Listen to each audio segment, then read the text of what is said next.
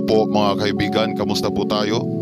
Welcome po mga kaibigan sa ating munting channel dito sa YouTube. Lubos ko pong ikinagagalak ang inyong pagbisita at pagtanaw sa ating video. Mga kaibigan, bago po natin umpisahan ang talakayan ay kung bago pa lang po kayo nakabisita sa ating channel ay pakipindot lamang po ng subscribe button at i-double click po ang notification bell para kung may mga bago tayong video na i-upload dito sa ating channel ay palagi po kayong updated mga kaibigan. Mutya ng makasisilaw. Bakit tinatawag ito na makasisilaw na agimat? Ito mo mga kaibigan, ang mutya ng makasisilaw nang nakita ito ng tribu ng Babaylan Unum ay parang araw ito na kumikislap sa kinang kaya tinatawag ito na makasisilaw. Ano nga ba ang virtudes ng mutya ng makasisilaw? Ang virtudes ng mutya ng mga kasisilaw mga kaibigan ay kung may mga itim na budhi o may mga masamang tangka sa may hawak ng mutya ng makasisilaw ay hindi makapinitrit ang sino mang may masamang tangka o may masamang budhi na laban sa may hawak ng mutya ng makasisilaw. Uh, mga kaibigan, maganda din ito sa business panghalina. Panghatak ng pira mga kaibigan ang mutya ng makasisilaw. Ganyan po ang kanyang virtudes mga kaibigan. Maganda din ito mga kaibigan sa pag-travel sa abroad ang mutya ng makasisilaw. Ang atin pong gawin ay kumuha tayo ng kaunti dito sa mutya ng makasisilaw. For example, malaki po ang mutya ng makasisilaw ay kunan po natin ng kaunti at siyang isilid natin sa itim lamang na tila para lalong gumaganda ang kanyang enerhiya aura. Ang kanyang virtudes ay madagdagan kung ilagay po natin no sa may itim na tila po mga kaibigan.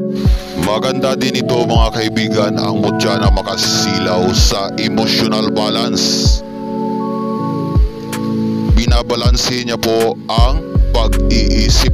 For example, may high blood po tayo mga kaibigan. No? For example lang po mga kaibigan.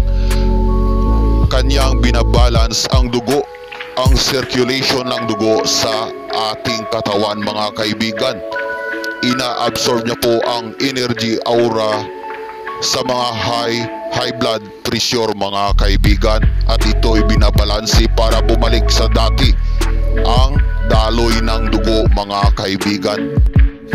Ang mutya na makasilaw kaibigan ay maganda din ito bilang stress relief mga kaibigan.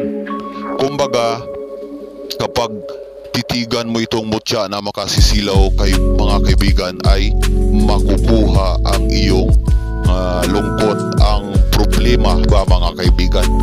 Dahil sa kanyang magandang aura.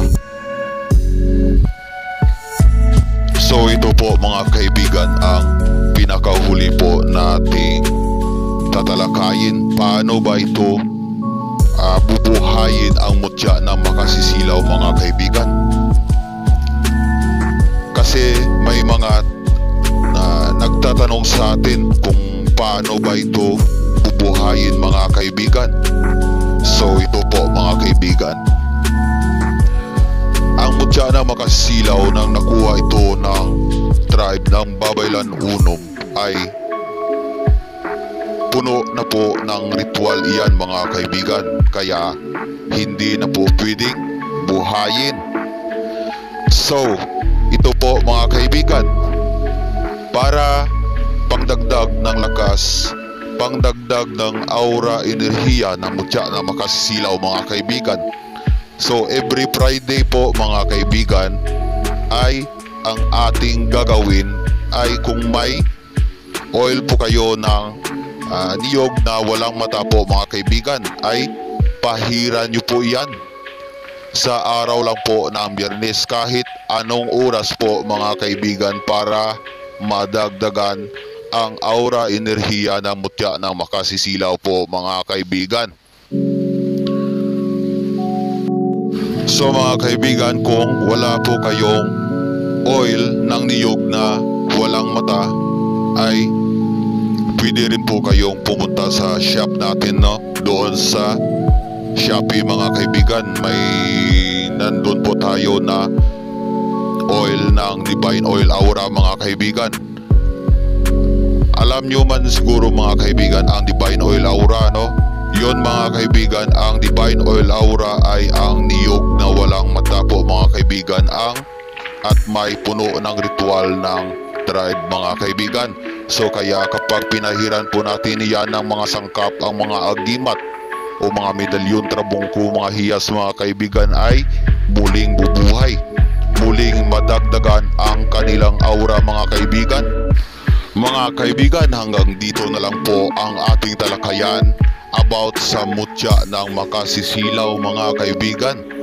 Salamat, salamat po mga kaibigan sa inyong pagtangkilik dito sa ating YouTube channel at sa sulit po nating mga customer, customer doon sa ating shop sa Shopee mga kaibigan. Nais ko pong binabati lahat po mga kaibigan. Thank you, thank you so much po mga kaibigan.